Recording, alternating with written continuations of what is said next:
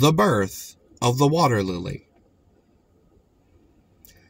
Back from his war against the Tawahi comes the sun, chief of the lower Saranacs, back to the lake of the clustered stars, afterward called by dullards the Tupper's Lake.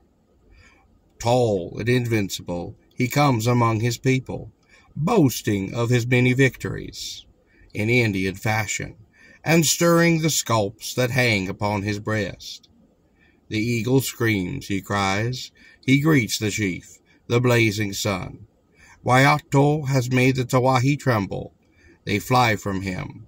Hua, hua, he is the chief. Standing apart with wistful glances stands Ostia, the bird.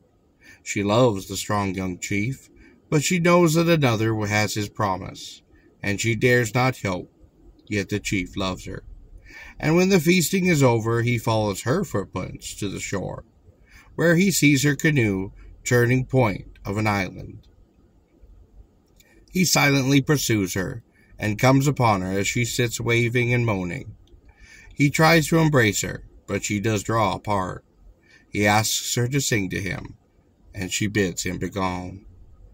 He takes a more imperious tone and orders her to listen to her chief, but she does move away. He darts toward her, turning on him a face of sorrow. She runs to the edge of a steep rock waving him back, but he continues after. Then she does spring and disappear into the deep water. The sun does plunge after her and swims with mad strength here and there. He calls out to her, but there is no answer. Slowly he does return to the village and tells the people what has happened. The bird's parents are stricken, and the sun does moan in his sleep. At noon a hunter comes in with strange tidings. Many new flowers are growing upon the water. The people go out to their canoes and row to the island of elms. And there in the cove, the still water is enameled with flowers, some of them as white as snow, filling the air with their perfume. Others are strong and yellow, like the lake at sunset. Explain to us, they cry, turning to their old medicine of its tribe, for this was not so.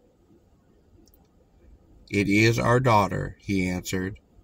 These flowers are the form she does take. The white is her purity, the yellow her love. You shall see that her heart will close when the sun sets, and reopen upon his coming. The young chief then went apart and bowed his head.